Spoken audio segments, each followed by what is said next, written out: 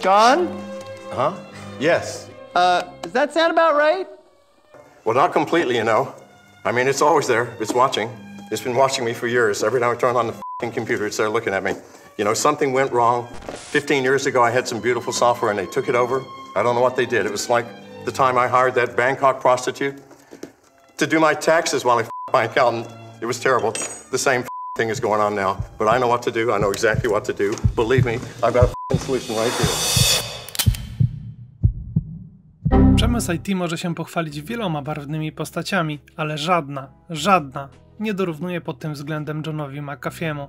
W jego burzliwej historii znajdziemy takie wątki jak stworzenie pierwszego na świecie programu antywirusowego, handel narkotykami, praca dla NASA, stworzenie pierwszej aplikacji czatowej z elementami społecznościowymi dla Windows, produkcja antybiotyków, bitcoiny, morderstwo czy kandydowanie na stanowisko prezydenta Stanów Zjednoczonych. W tym odcinku pod lupę biorę Johna McAfee'ego. Zapraszam do oglądania.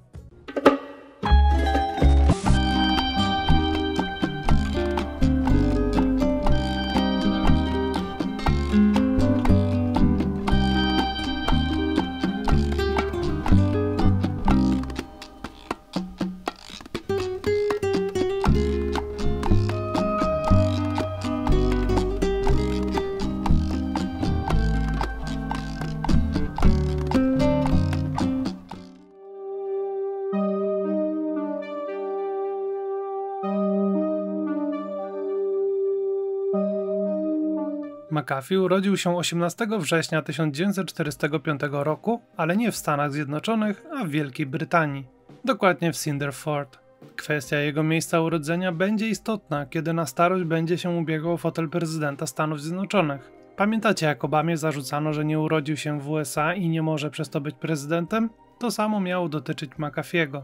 Jednak wszelkie wątpliwości zostały szybko rozwiane. Otóż jego matka była Brytyjką, a ojciec Amerykaninem, z tym, że był również wojskowym, a sam John urodził się na terenie bazy wojskowej USA. Tym samym z automatu otrzymał amerykańskie obywatelstwo. Później będzie podkreślał, że czuje się tak samo Amerykaninem jak Brytyjczykiem. John dorastał w miejscowości Salem w stanie Virginia. Jego ojciec nadużywał alkoholu i często podnosił rękę na niego i matkę. Kiedy nasz bohater miał 15 lat, jego ojciec odebrał sobie życie strzałem w głowę. Od śmierci ojca regularnie spożywał alkohol i nie stronił od innych używek. To jednak nie przeszkodziło mu, aby w 1967 roku ukończyć studia na Roanoke College. Jego specjalizacją była matematyka. Jeśli nazwa tej uczelni nic wam nie mówi, to dodam, że jest to bardzo dobra szkoła. W 2010 roku uznano ją za jedną z 16 uczelni, gdzie najtrudniej zdobyć najwyższą ocenę a wśród placówek naukowych zlokalizowanych w południowych Stanach uczelnia uplasowała się na trzecim miejscu pod tym względem. Na innej już uczelni John planował zrobić doktorat, ale został zmuszony do przerwania nauki, kiedy na jaw wyszło, że regularnie sypiał z młodą studentką, którą miał mentorować. Finalnie zdobył tytuł doktorski. Uniwersytet Roanoke przyznał mu honorowy doktorat, ale dopiero w 2008 roku. Następnym krokiem dla Johna była przeprowadzka do Nowego Jorku, gdzie z dyplomem dobrej szkoły mógł przebierać w ofertach. Wybrał pracę dla NASA i przez dwa lata uczęszczał do budynku okupowanego przez Goddard Institute for Space Studies. Po krótkim epizodzie w NASA podjął pracę w firmie dzisiaj znanej jako Unisys. Nie będę opowiadał tej historii, bo nie jest specjalnie interesująca, ale warto wiedzieć, że korzenie tej firmy sięgają znanego wszystkim Eniaka, Otóż jego twórcy założyli swoją firmę i zaczęli produkować konkurencyjny komputer pod nazwą Univac. Kiedy McAfee dołączył do zespołu, firma nazywała się już Sperry Rand, a jego zadaniem było projektowanie systemu operacyjnego. A może ta historia jednak jest ciekawa? Wszakże w firmie pracowała też Grace Hopper. Grace Hopper to bardzo ciekawa persona. Była pierwszą kobietą programistką i w ogóle jedną z pierwszych osób na świecie, którzy się tym zajmowali. Pierwsze kroki stawiała bowiem na komputerze Harvard Mark I, który powstał w 1944 roku. Hopper jest jedną z osób odpowiedzialnych za język COBOL. Dorobiła się nawet ksywki babcia COBOL. To z jej udziałem urodził się termin bug oraz debugging w kontekście komputerów. Co prawda, Grace tego nie wymyśliła, ale pod jej skrzydłami jeden z asystentów odkrył ćmę, która przykleiła się do jednej z maszyn. Ćmę zabezpieczono i sporządzono protokół. później inni na błędy w kodzie zaczęli mówić bug. O czym właściwie jest ten klip? Aha, John McAfee. Wiadomo, że McAfee pracował jeszcze m.in. dla firm takich jak Siemens, Xerox oraz General Electric. W tym czasie był już żonaty i często pudrował nos. Musiałem to ukrywać przed mamą, a czasem przed żoną. Ale w środowisku pracy, w zależności od tego, gdzie pracowałeś, w niektórych firmach narkotyki zażywano otwarcie, w porze lunchu, w biurach. To był dziwny czas. Z książki Inventors and Inventions możemy się dowiedzieć, że jedna z jego prac polegała na stworzeniu bazy danych dla firmy, która świadczyła usługi matrymonialne. Baza danych służyła do weryfikowania, czy klienci mają wirusa HIV lub AIDS. Przez ponad dekadę po opuszczeniu murów uczelni McAfee zmieniał pracodawców i zmagał się z nałogami. Przełom nastąpił na początku lat 80. Wtedy zbiegło się kilka wydarzeń. Przede wszystkim odeszła od niego żona oraz stracił pracę. Sam wspomina, że przez jakiś czas zajmował się nawet handlem narkotykami. John postanowił się zmienić. Po prostu przestałem. Zacząłem chodzić do organizacji o nazwie Anonimowi Alkoholicy. I wtedy po raz ostatni zasmakowałem tamtego świata. Tym samym wywiadzie przyznał, że tamte doświadczenia żyły w nim przez kolejne lata i że większość tatuaży na jego ciele została zrobiona właśnie w tym okresie. Na pierwsze spotkanie anonimowych alkoholików poszedł w 1984 roku.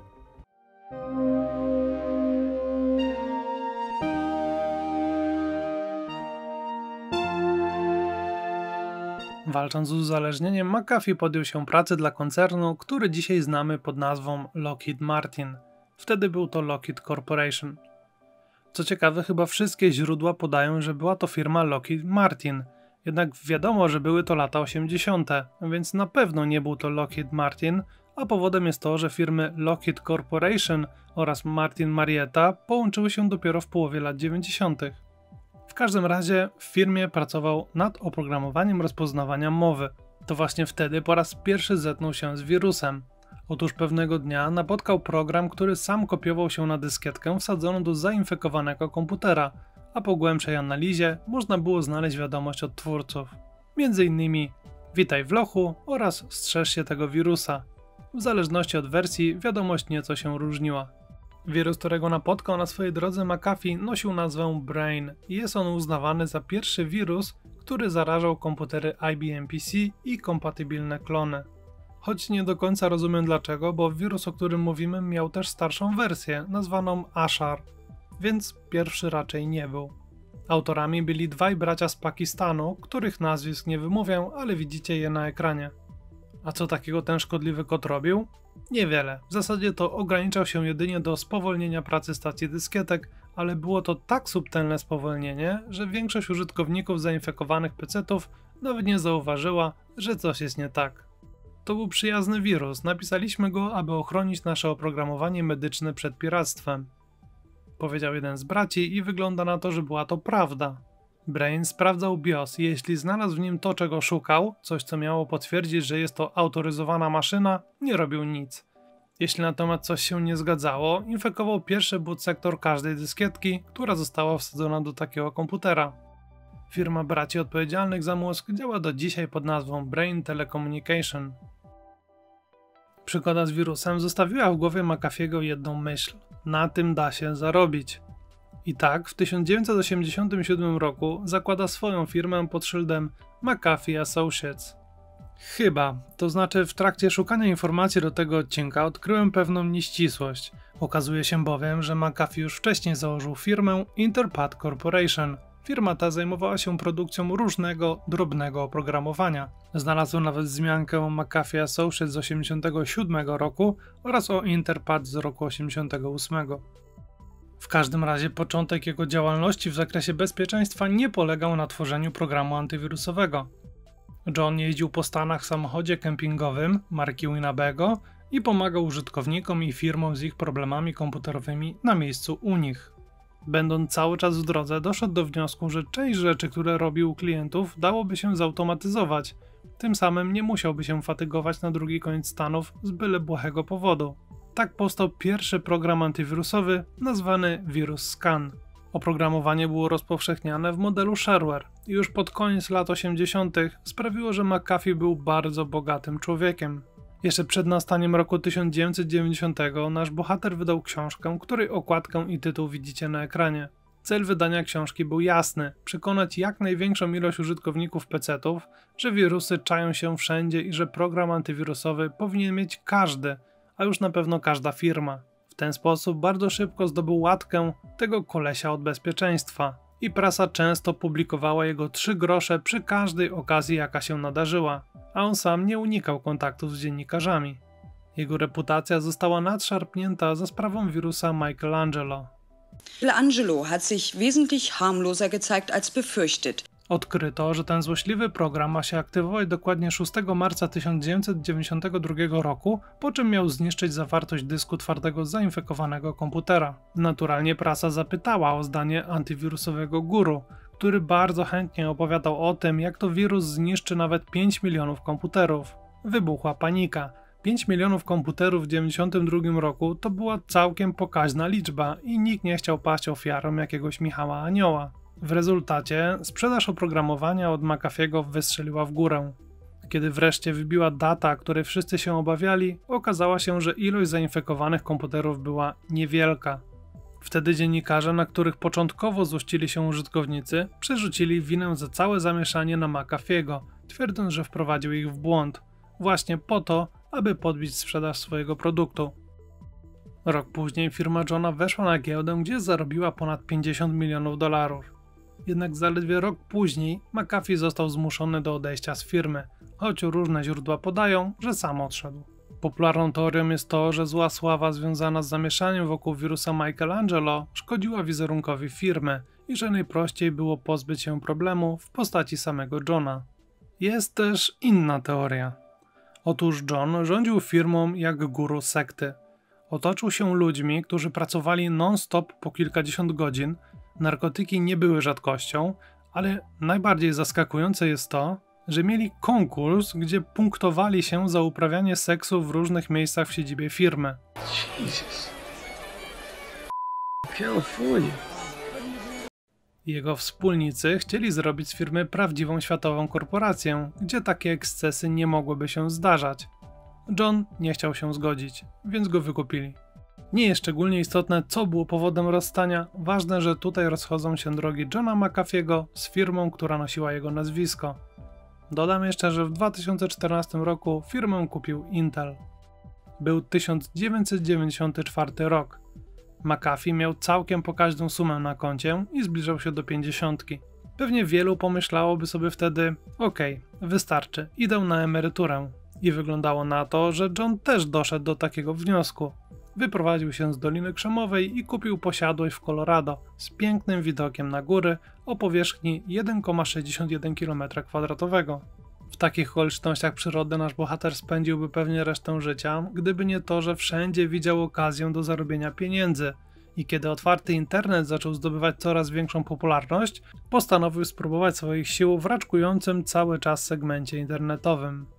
Jego pomysłem był komunikator PAWOW z mocnym akcentem społecznościowym. To może się wydawać niczym niezwykłym, ale nie zapominajmy, że był 1994 rok i internet był jeszcze ciekawostką. W dodatku ciekawostką, w którą wiele osób nie wierzyło. Na początku 1995 roku dziennikarz Newsweeka popisał się swoją kultową złą predykcją odnośnie internetu, twierdząc m.in., że żadna baza danych nie zastąpi drukowanej gazety.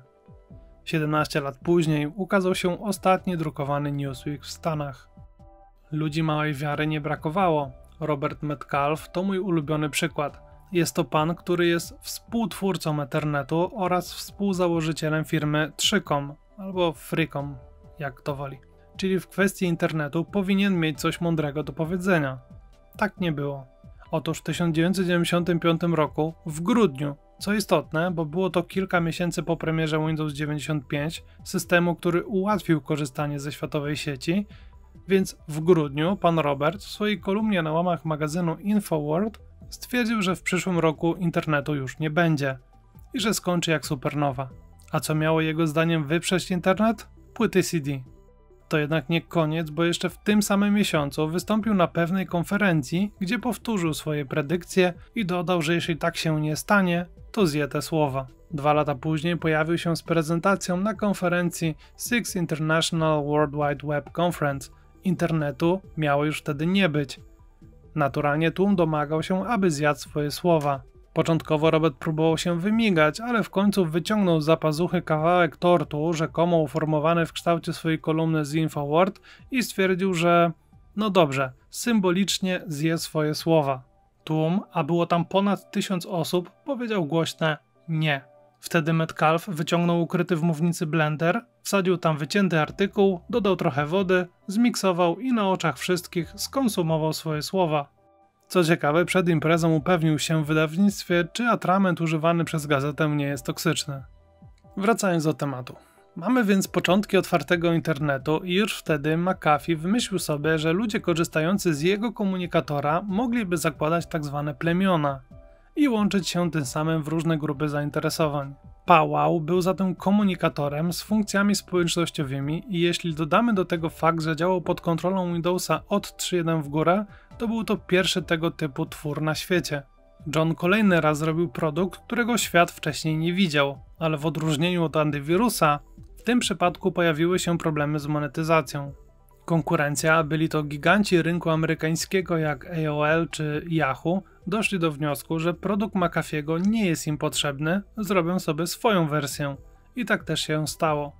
You know, I can even send email on the internet. Of course, there's my personal favorite, live chat. That's how I met my new kayaking buddies. We'll check that out later, after the game. Komunikatorowi trudno było konkurować z produktem, który dostarczany był w pakiecie z komputerem czy modemem. Zanim jednak firma tworząca omawiane oprogramowanie wyzionie ducha w 2001 roku, McAfee sprzeda wszystkie swoje udziały. Pieniądze ulokował w firmie z segmentu bezpieczeństwa Zone Labs. Kojarzycie pewnie ich program Zone Alarm. Była to z pewnością dobra inwestycja, bo kilka lat później firma została kupiona przez Checkpoint za ponad 205 milionów dolarów. W 2003 roku John kupuje działkę na hawajskiej wyspie Molokai. Działka była duża, ponad dwa razy taka jak ta w Colorado. Kilka lat później postanawia pozbyć się części ziem. To spotkało się z oporem po stronie mieszkańców wyspy, którzy obawiali się nalotu firm deweloperskich oraz szybujących cen gruntu. McAfee obiecywał, że nie sprzeda ziemi, ale chwilę później to zrobił. W tym czasie posiadał też ziemię w stanie Nowy Meksyk, gdzie prowadził biznes polegający na wynajmowaniu kładów i motolotni. To drugie szczególnie przypadło mu do gustu. Niestety wiąże się z tym smutna historia.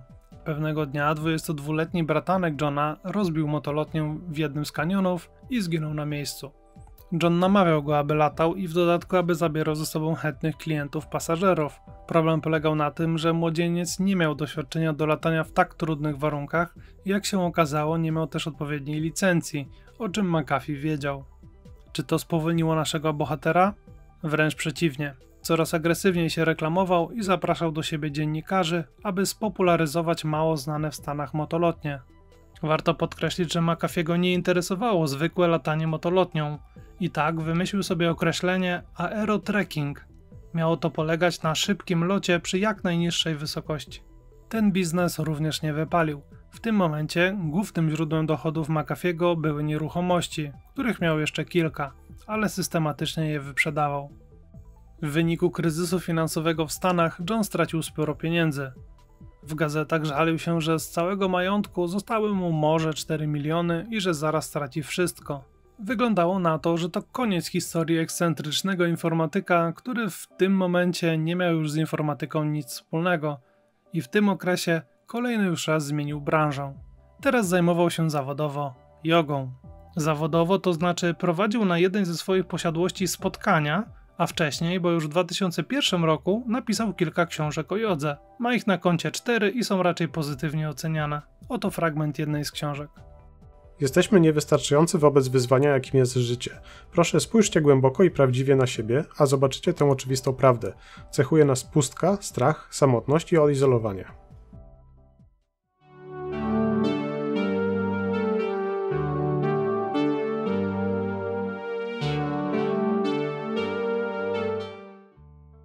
John kolejny raz postanawia się przeprowadzić, tym razem do Belize. Był 2008 rok.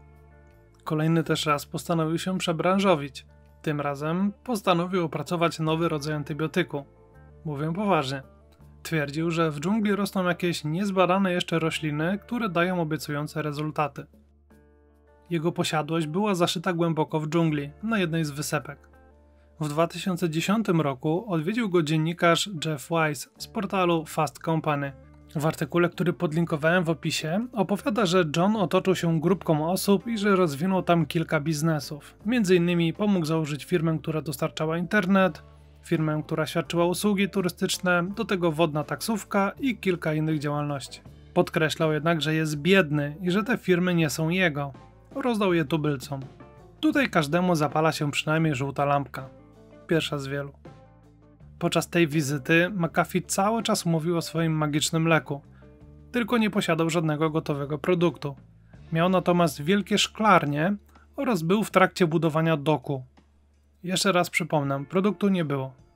Dziennikarz dowiedział się też o nowym pomyśle na biznes Johna. Miał zamiar wykarczować kawałek dżungli i zbudować tam pas startowy, aby turyści mogli zwiedzać ruiny Majów. Okej, okay, podsumujmy. Ile lampek się wam zapaliło? Na pierwszy rzut oka wygląda bowiem, że nasz bohater zrobił sobie plantację jakiejś diabelskiej sałaty i szykował już kanały dystrybucyjne drogą wodną i nawet powietrzną. To nie koniec dziwnych faktów. Otóż McAfee zasponsorował Straży Ochrony Wybrzeża łódź patrolową za milion dolarów.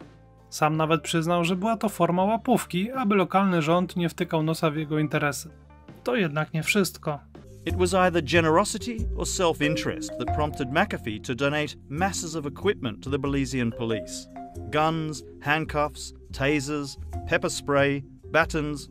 To oczywiście tylko domysły. Nikt McAfee'ego za rękę nie złapał. Mało tego, specjalna jednostka do walki z gangami najechała nawet posiadłość Johna, bo mieli przecież podstawy podejrzewać, że robi on coś nielegalnego.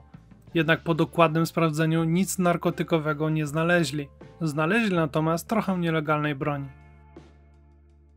Zastanawiacie się może, dlaczego John udawał biednego i przepisywał wszystkie swoje biznesy na współpracowników? Przypomnę, że po krachu na rynku amerykańskim żalił się, że ma ostatnie 4 miliony i że zaraz je straci.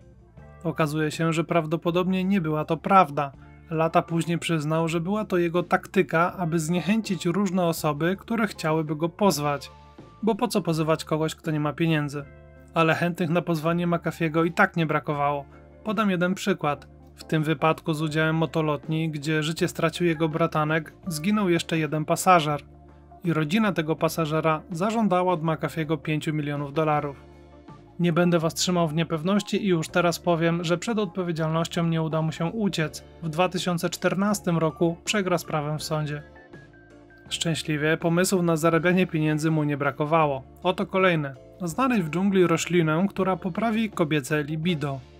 Ta magiczna roślina miała być u niego priorytetem numer dwa. Oto kolejny pomysł. Zaprosił rysownika, aby ten stworzył o nim komiks. Choć prace były zaawansowane, to chyba nic z tego nie wyszło. W każdym razie w internecie nie znalazłem nic, co by sugerowało, że komiks ujrzał światło dzienne. Finalnie udało mu się pod szyldem firmy QuorumX wypuścić produkt pod nazwą Topic QX. Czy działa? Nie wiadomo. Naturalnie nie można go sprzedawać na regulowanych rynkach, więc jego sprzedaż ogranicza się do krajów Ameryki Południowej, zakładając, że jakaś sprzedaż się odbywa czy odbywała, bo w sieci trudno znaleźć jakieś informacje na ten temat. Faktem jest, że domena internetowa jest już porzucona. Profil na Twitterze nie był aktualizowany od 2015 roku, a ten na Facebooku od 2019, co jest dziwne, bo teoretycznie firmy już wtedy nie było. Dodatkowo jego plantacja w dżungli spłonęła w 2013 roku. Czy jednak McAfee posiadał wiedzę, aby móc myśleć o tworzeniu antybiotyków? Nie. Pracą w laboratorium zajmowała się młoda badaczka, świeżo upieczona doktorantka Harvardu, Alison Adonizio. Jej historia w Belize jest dość długa i momentami straszna i jeśli chcecie ją poznać, to polecam wam dokument Gringo The Dangerous Life of John McAfee. W wielkim skrócie, pani Adonizio twierdzi, że John manipulował dziennikarzami, których zapraszał na swoją posiadłość, opisuje też, że wszyscy w otoczeniu mieli broń, z McAfee włącznie i sugeruje również, że McAfee ją zgwałcił a z Belize musiała uciekać pod przykrywką nocy. Pani Adonizja opowiada też, że John mówił o swoich ochroniarzach Hitmeni oraz że opowiadał o przejęciu władzy w Belize. W tym miejscu historia zaczyna robić się naprawdę ponura. Któregoś dnia jeden z lokalnych opryszków włamał się do jednej z posiadłości Johna. McAfee był wściekły, był przekonany, że ludzie w Belize już wiedzieli, że jest nietykalny. Kazał więc swoim ludziom znaleźć młodzieńca i dać mu nauczkę. I tak się stało.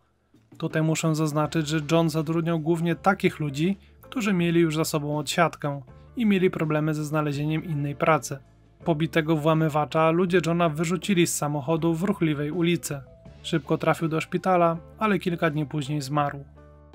Ponownie, to tylko jedna z teorii. Dowodów brak, nikt do więzienia nie trafił. W tym okresie John mieszkał z kilkoma nastoletnimi dziewczynami, które kilka lat później opowiedziały o fantazjach Johna. Okazuje się, że skat było jego ulubioną czynnością. Nie googlujcie tego. Podobno połowa z tych dziewczyn próbowała go zabić w którymś momencie znajomości z nim. But you did try to what shoot shoot him in the head, right? I did. And what? Why? And because I was jealous and tired of him, I guess.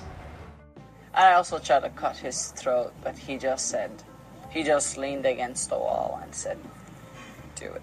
I was angry, whatever. And let's but include her second was ready attempt to in here shoot too. him, and For some reason I missed. You tried to shoot him? Uh-huh. Nastał rok 2012. Wtedy McAfee mieszkał w swojej posiadłości w San Pedro.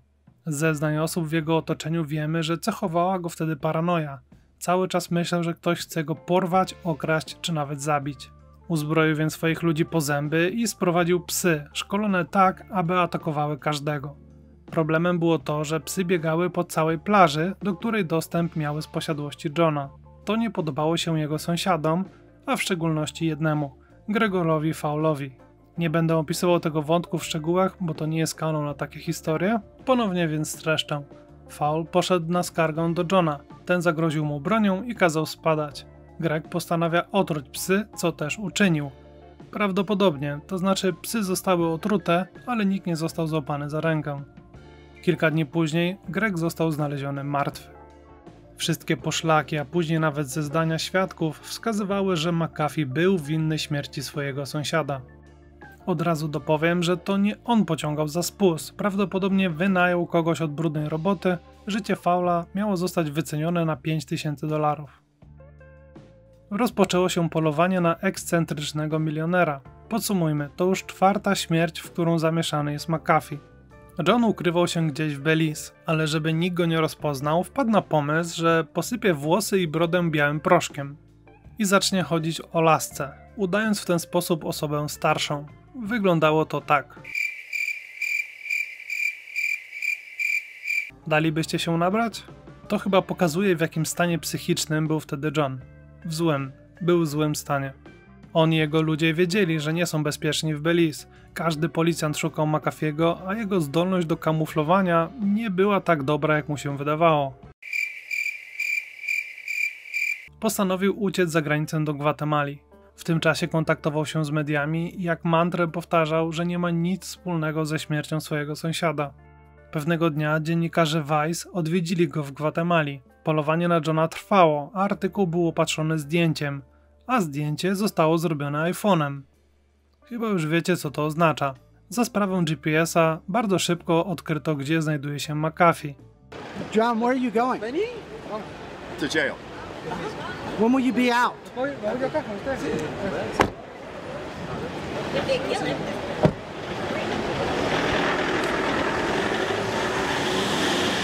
Później okazało się, że mogła to nie być pomyłka i że dziennikarze Vice zrobili to celowo, ale szczerze mówiąc, to jest Vice. Stawiam raczej na ich niewiedzę niż sprytne działanie. Władze Gwatemali jedyny zarzut, jaki miały do Johna, to nielegalne wtargnięcie do kraju. Chcieli go natychmiast deportować do Belize, gdzie z kolei nie po drodze było McAfeemu, więc zasymulował atak serca. Kupił w ten sposób czas swojemu prawnikowi i w wyniku różnych przepychanek prawnych John nie został deportowany do Belize. Władze Gwatemali wydaliły go jednak z kraju i odesłały do Stanów.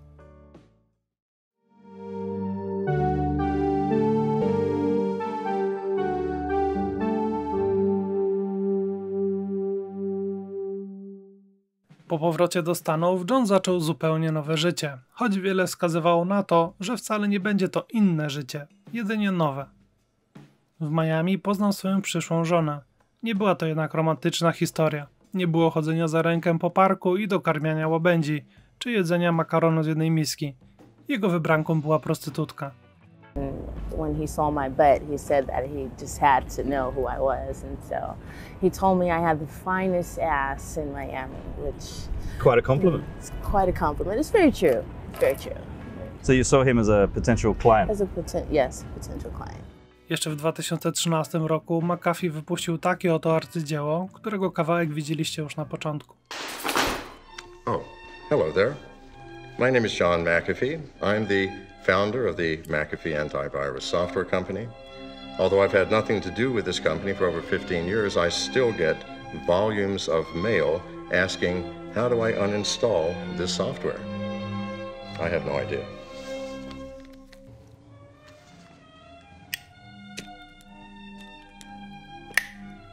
Link do pełnej wersji w opisie. Po premierze firma robiąca antywirusa skomentowała, że wideo jest niedorzeczne. John zaczął znowu pojawiać się w mediach i na różnych konferencjach. Wyraźnie było widać, że próbuje odbudować swoją markę tego kolesia od bezpieczeństwa. A w 2015 roku stało się to.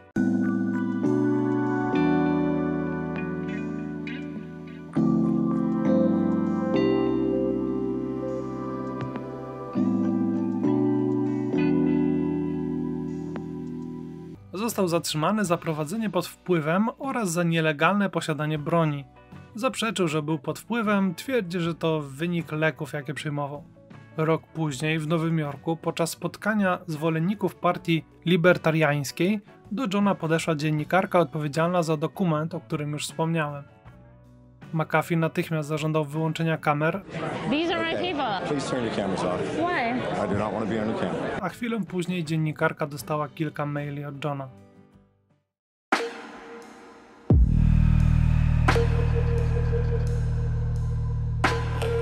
Na net jesteś szatanem, mediowym archetypem. Jesteś moją ostatnią bitwą, której nie przegram, choćby się waliło czy paliło. Wszystko we mnie, każde skupienie, każda myśl, każde działanie będzie skupione na tobie. To będzie mój ostatni bastion. Dokument wyszedł kilka miesięcy później. Niemal natychmiast kluczowi rozmówcy występujący w filmie wycofali swoje zeznania, a McAfee w swoich mediach społecznościowych publikował ich poprawione wypowiedzi. Dziennikarka ustaliła jednak, że John zapłacił im za to, ale ten oczywiście zaprzecza. Rząd Belize miał jeden zasadniczy problem ze skazaniem McAfee'ego. Choć wszystkie ślady wskazywały na niego, to nie przeprowadzono dokładnych badań DNA, bo rząd Belize nie dysponuje nawet takimi laboratoriami, a śledczy nie są tak doświadczeni jak w bardziej rozwiniętych krajach, co oznacza, że wiele dowodów zostało pominiętych i niezabezpieczonych. Chyba każdy ma już wyrobione zdanie na temat Johna i co jednym wyda się dziwne, a innym oczywiste, McAfee postanawia wejść do świata polityki, a konkretnie chciał zostać kandydatem partii libertariańskiej na stanowisko prezydenta Stanów Zjednoczonych. I have been told that I am not very presidential acting. Teraz pomyślcie chwilę o tym wyrobionym zdaniu o Johnie, bo ta informacja jest trochę zaskakująca. Zajął drugie miejsce, co oznacza, że jakimś cudem więcej osób chciało zagłosować na niego niż na trzech innych kandydatów, którzy wypadli gorzej. Czy to charyzma? Trudno wywnioskować mi coś innego, aby nie obrazić zwolenników tej partii. W wersji amerykańskiej dodam.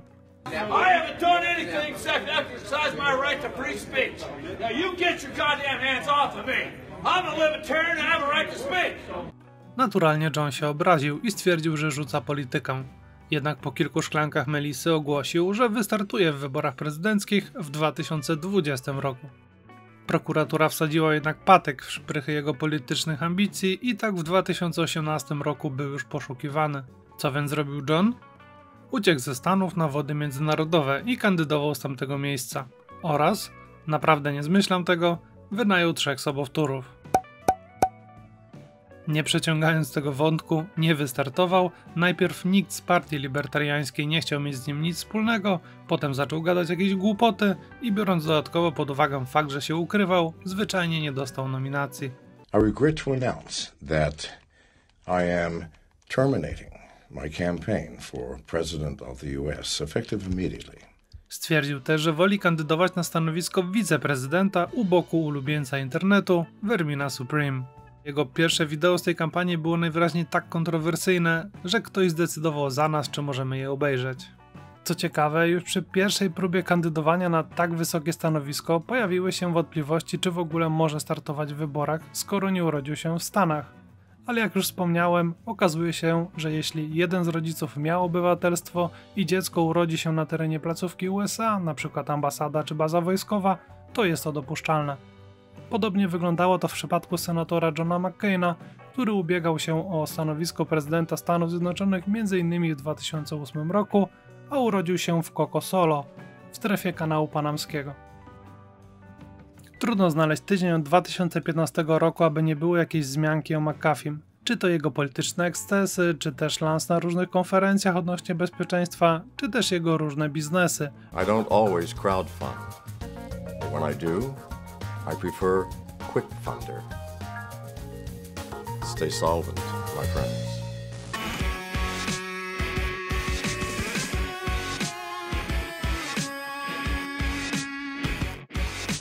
Hello there, I'm John McAfee, founder of the McAfee Antivirus Company.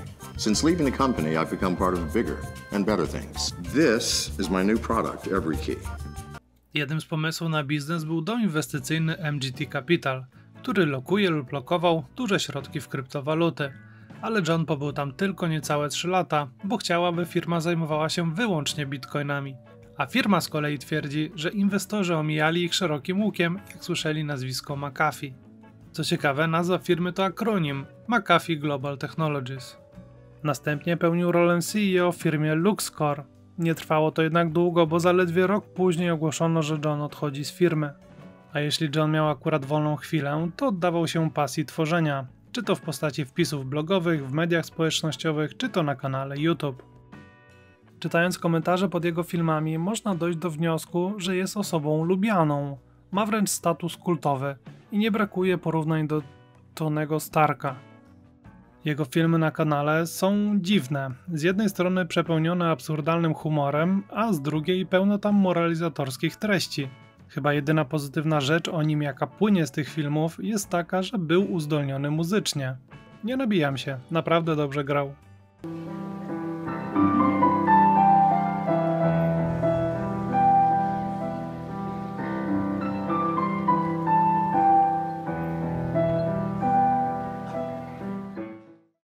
Koniec mam jeszcze dwie krótkie historie. Otóż w 2017 roku McAfee dał się ponieść wodzy fantazji i w dyskusji na Twitterze zapytany, czy kurs jednego bitcoina wzrośnie do 500 tysięcy dolarów w ciągu 3 lat, powiedział: Jeśli nie, to zjem własnego penisa pod okiem kamer telewizyjnych.